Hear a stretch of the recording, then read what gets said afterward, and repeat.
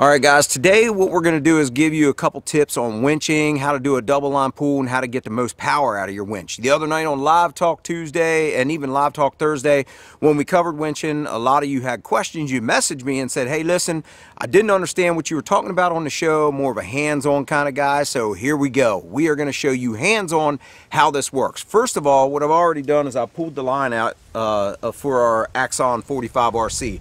Now the Axon 45 RC is a great winch, but it is a short drum winch, meaning this drum is very, very short and the frame on it is very short.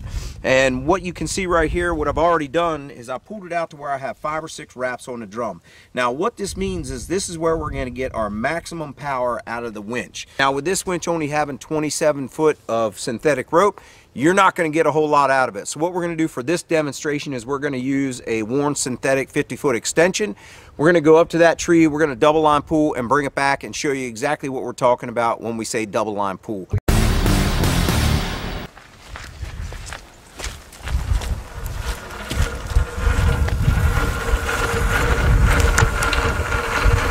This is uh, a Warn synthetic 50 foot extension. I would recommend you carry one of these no matter how long your winch line is because you just never know when you're going to need it. Sometimes you get in a position or a situation where you need more rope or, or more line and this is exactly where it's going to come in handy. Take our extension here, 50 foot extension, and we'll just clip it on right like that. I would say that you would definitely be in your best interest to take a accessory kit with you and have the 50 foot extension and all this stuff. I would say if you have a winch, you definitely need to take this stuff with you. You never know when you're going to use it. And some people might say, well, I'm never going to use that. Believe me, I use it a lot. So I'm glad there's been several times where it's come in very handy.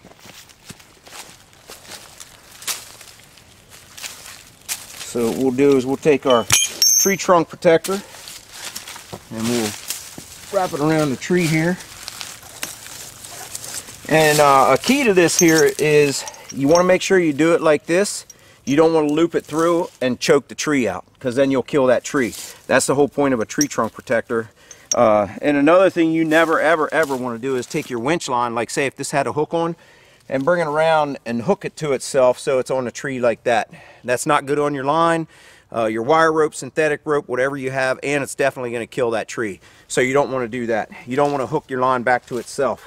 What we have here is a snatch block, and this is a Warn Epic snatch block. And all you'll do is you'll take your synthetic rope or your wire rope, and you'll put it in there like that. So it's like that, and when you pull, it's gonna it's gonna pull inside that snatch block like that, and it's gonna be a pulley. So then what you'll do is you'll put it on your shackle here, and you'll take this and put it in there fasten it in and what you'll do is take this in where it touches where it's tight and then back it off a half turn. Another thing you want to remember is you want to check the tree before you hook up to it because you don't want to hook up to a dead tree. You know I've already seen guys hook up to a dead tree and they start winching and it falls over. Well you got to be careful with that too because you know that could end up hurting somebody big time. So make sure you're hooking up to the base of a really good tree that is not going to fall over. So now we've got our 50 foot extension. We've got our tree trunk protector on there.